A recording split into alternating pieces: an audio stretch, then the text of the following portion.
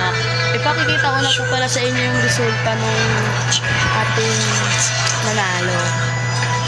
So, i-draw ko lang po yung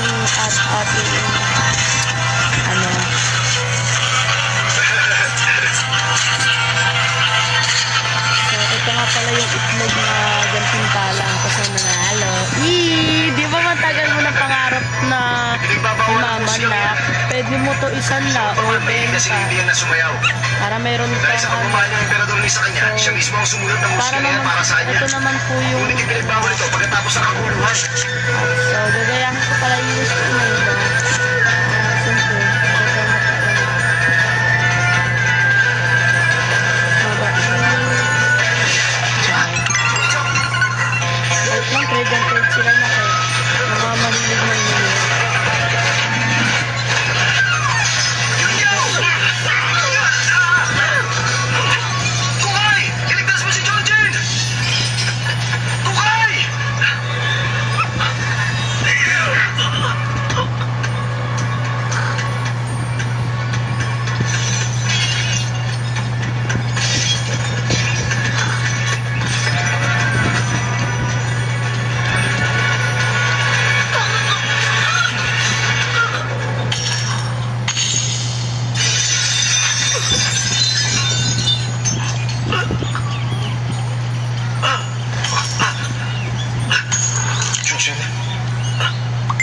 Chuchin.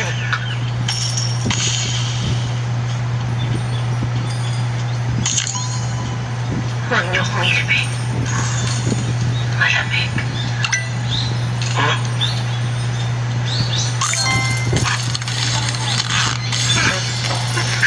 Ito na, bali na isod ko na yung ano. So, para sa'yo. So, para naman po sa nag-second place, ito nga po pala.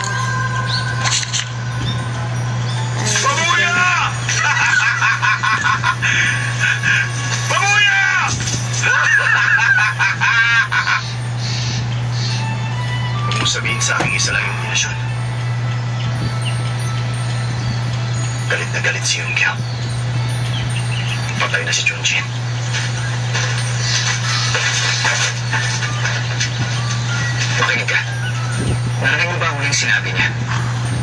Huwag niyo akong ilibing. Malamig. Sa ilalim. Sabi ng pusa, isa sila ng sinapit. Hindi kaya si Lady Yang ang tinutukoy niya doon.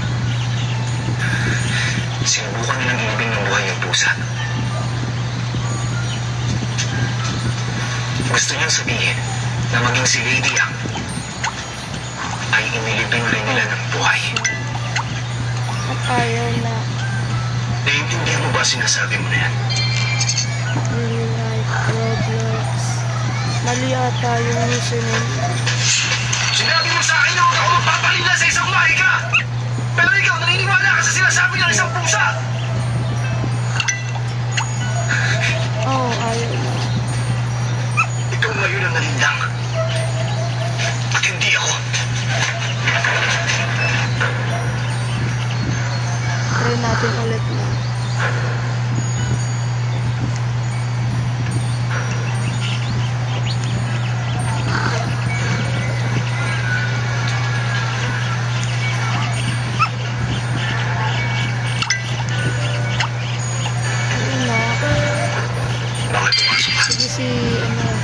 Bukas ang pinto eh.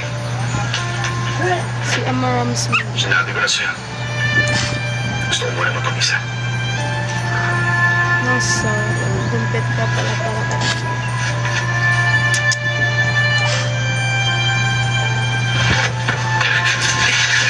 Napakaganda nito. Nakita ito ng pusa. At ginamit niya si Chunchin para maging mata ni Lady Yang. Mula palasyo, bahay ni Yung Hanggang sa bahay Aliwan. Ikaw ang ginagamit niya para malaman mo ang buong katotohanan. Bakit naman ako napili niya? Dahil yan sa pagsusulat mo ng tula. Naiintindihan mo na. Kung si Lady ang inilibing na ng buhay, mababaliwala ka ng trabaho ng mga sige ilang ito na. So, okay na na. So, ito na lang pala. So, Pumunta ka lang dito, tapos naiintindihan mo lang lahat.